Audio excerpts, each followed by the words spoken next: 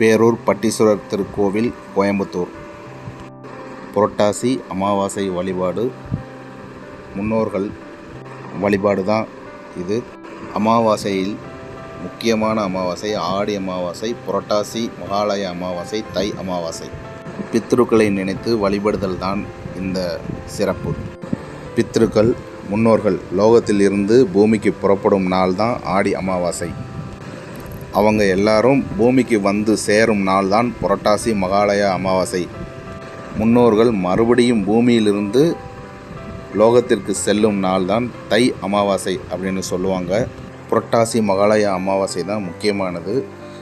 நம் அனைத்து முன்னோர்களும் கூட்டாக வந்து நம் தங்கி நம்மோடு இருந்து அவர்களை வேண்டி வழிபடுவதால் பித்ருக்களுடைய தோஷம் அவர்களுடைய சாபம் நீங்கி அவர்கள் மறுபடியும் நமக்கு அருளாசி கொடுத்து வாழ்த்தி அவர்கள் மறுபடியும் மேலோகம் சென்று மகிழ்ச்சி அடைந்து நம்மளை சந்ததிகளை வாழ்த்துகிற நாள்தான் அமாவாசை நாள். தெரிஞ்சுக்கோங்க.